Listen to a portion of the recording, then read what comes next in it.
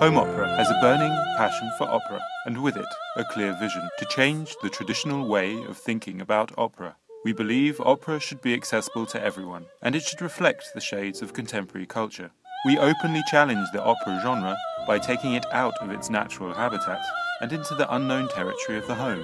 Here we create a flexible and modern space where live quality music is at the heart of the performance and where the gap between artists and audiences is bridged by sheer musical intimacy. Parmigiano? No, no, no, no parmigiano.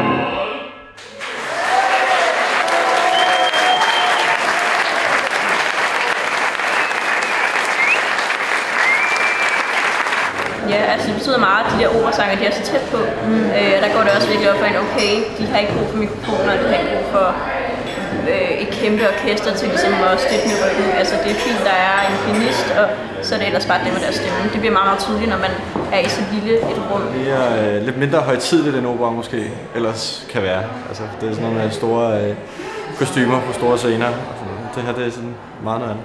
Når man er på et privat hjem, de andre gæster her i aften, de var mere åbne øh, og imødekommende, hvilket jeg synes var hyggeligt, end, end når man kommer i en opera.